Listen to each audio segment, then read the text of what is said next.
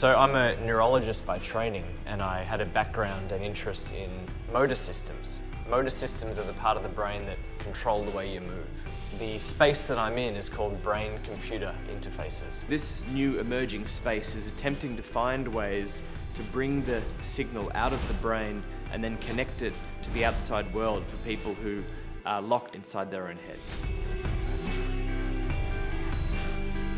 In spinal cord injury, for example, if the cord is damaged, you can't reconnect the spinal cord. So how would you take that data, the brain attempting to move, and put it back in control of some system that can give that patient mobility again?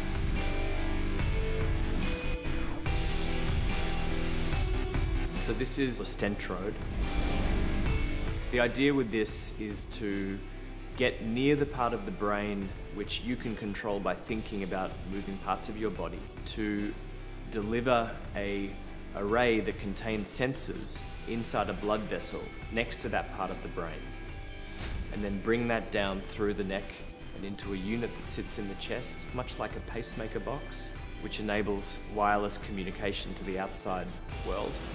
I suppose one way of thinking about what this device is, it's that a digital spinal cord in that the spinal cord normally carries information in and out of the brain.